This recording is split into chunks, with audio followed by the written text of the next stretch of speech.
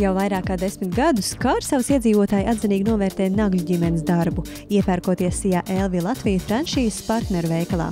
Šobrīd veikalā strādā 30 darbinieki, visi Kārsavas novada iedzīvotāji.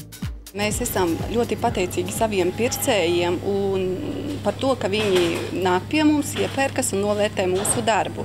Mums ir ļoti plašs sortiments, ļoti daudzveidīgs, un mēs arī cenšamies piemēroties mūsu iedzīvotājiem un tirgot to, kas viņiem ir visvairāk nepieciešams. Mēs arī mēģinām pasūtīt un piedāvāt vietējo ražotāju preci vairāk, teiksim, vietējos maizes kombinātus, gaļas kombinātus, kā arī piena kombinātus.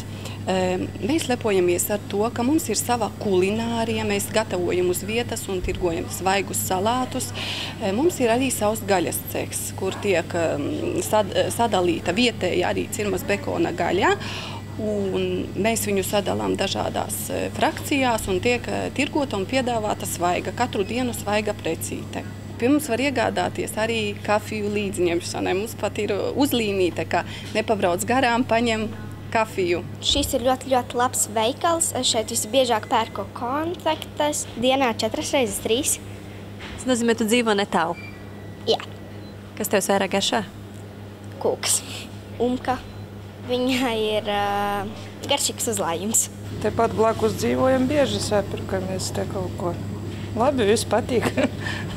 Apkalpo labi. Gaļas produktus te pirkam piena produktus, da visu ko. Mēs vienmēr esam gandarīti par ikvienu pircēju, gan vietējo iedzīvotāju, gan arī e, tiem, kuri ir atbraukuši ciemos vai vienkārši garām brauc. Vienmēr esat laipni gaidīti e, veikalā Elvi Kārsavā vienības ielā 72B.